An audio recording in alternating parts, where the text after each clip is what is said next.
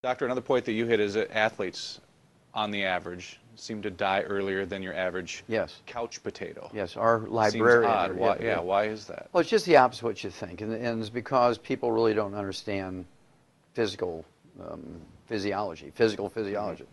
Um, and that is this. Um, with the exception of the three black guys from the old Negro Baseball League back in the 1920s, there's never been a professional athlete lived to be 100.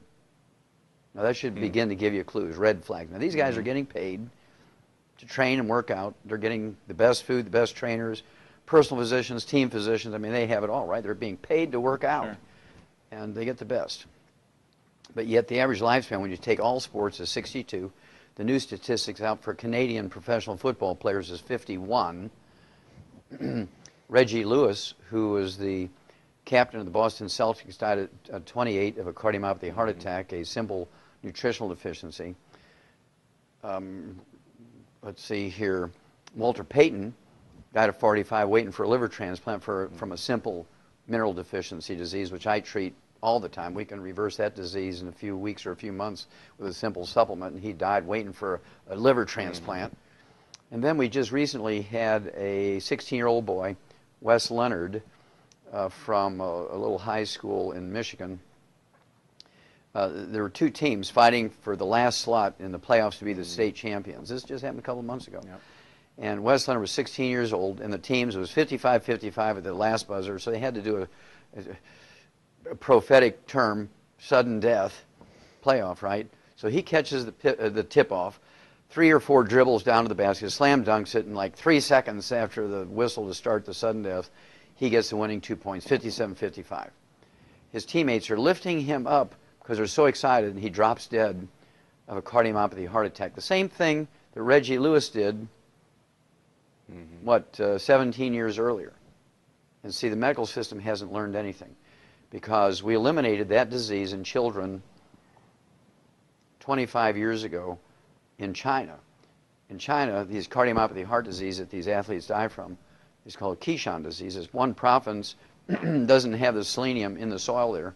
And these kids, like 13 out of 100, are dying from this heart disease when they're little kids. So my wife and I went there in China, and we did 1,200 autopsies on these kids, on kids under the age of 10. And the Chinese government now gives every kid this trace mineral when they come to class. They haven't lost another kid in 25 years, okay? Because the government makes sure, under penalty of severe punishment, if the teacher fails to give those kids that pill every day. Here we have these kids, we've known this in the animal industry for 60 years, Scott. For 60 years, we've known the cause, prevention, and cure for this disease. And yet medical doctors say, well, we give them uh, electrocardiograms before each season. We just need more physicals. That'll do it.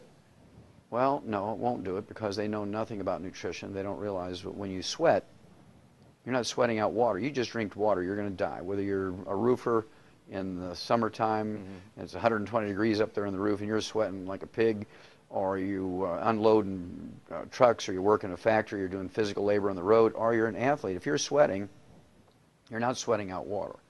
Uh, sweat is a soup that contains all the nutrients floating around your blood. And if you're replacing that soup with water, what's happening to your nutritional reserves? Replacing the soup with water, your nutritional reserves go down, and when you reach a certain level, below a certain line, you die. There's another 19-year-old girl just died of um, a copper deficiency. She's 19 years old. Florida State University died of a ruptured aortic aneurysm, which is caused by only one thing. Well, two things. One, you get crushed against a loading dock by a truck, or a copper deficiency. We learned about that in Turkey, Scott. In 1947, we eliminated ruptured aortic aneurysms in turkeys in 1947. So she died of something that a turkey wouldn't even die from.